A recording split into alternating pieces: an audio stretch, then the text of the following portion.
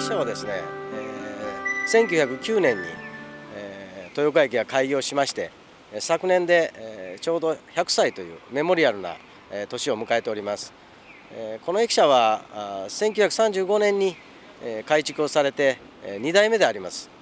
残ります施設としましては例えばホームあるいは古戦橋といったものも今の現状のまま残るようになっております。でなおかつ構内にはですね昔ながらの古い給水塔なり、えー、機関車を転車する転車台といったものがございましてそれも今の現状のまま残るようになっております私どもは安心安全な鉄道を目指してですね日々取り組んでおりますとともに、まあ、ご利用されるお客様が少しでもご利用しやすいようにということで取り組んでおります。これからもですね鉄道に対しましてご支援やですね、えご愛顧をいただきたいと思いますしこの契機にですねぜひ鉄道今後ともご利用いただきますよ